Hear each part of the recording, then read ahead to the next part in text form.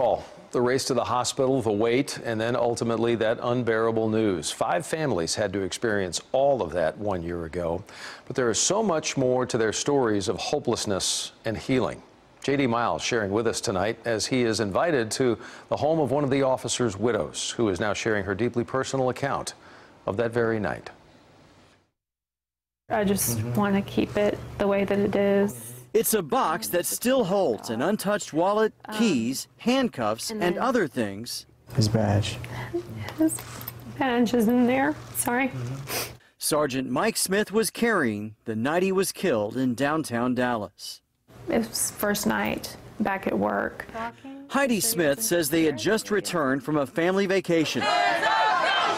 She learned after he died that he had volunteered to go to the protest in downtown far from where she thought he was working. It was around 9 o'clock, a few minutes before, a few minutes after, and I was in the shower and the, my phone was ringing. Your husband has been shot. He said, well, he's, he's downtown at the protest. And I said, no, you you must have the wrong Mike Smith. Mike, Mike Smith is, you know, at a different station. Heidi later learned her husband was downtown and wounded, but no one thought it was life-threatening. From what I understand, is Mike didn't hit the ground. He was talking. They said he was in good spirits.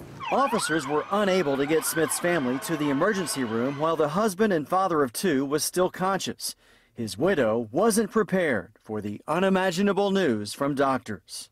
Along with a chaplain, and he extended his hand to me, and I knew that Mike was gone. It wasn't what I was expecting.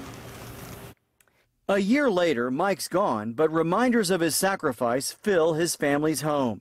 Signs of healing, though, are missing. I think I'm still uh, going back between anger and guilt. My youngest will still wake up crying several times a week. My oldest sleeps four or five paces away from me. How do you want Mike to be remembered? He was a man of honor. He respected everyone. He was also a teenager who immigrated from Taiwan, became an American citizen, joined the Army, and paid his way through college.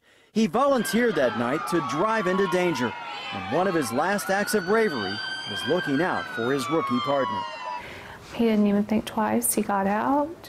Um, he gave the rookie instructions to, um, I believe, to take cover. After that point, Mike was the last one that was shot.